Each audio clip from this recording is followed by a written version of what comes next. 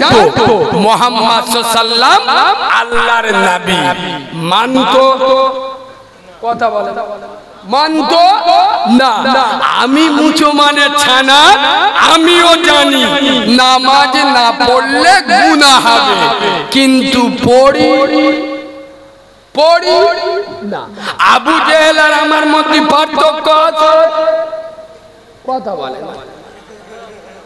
এই বাবু, কোরআন আমরা শুনি কার দিনের আলে মোলামা পিরসা সাহেব আবু জেল আর আবুল আব কার মুখে কোরআন শুনেছে জানো? যাকে না তৈরি করলে দুনিয়া সৃষ্টি হতো না। জামানার জান্নাতের দোনো জাহানের দুলহা আমিন আর লাল, খোদা কা পুতলা মদিনা ওয়ালা সর্বযুগে, সর্বকালে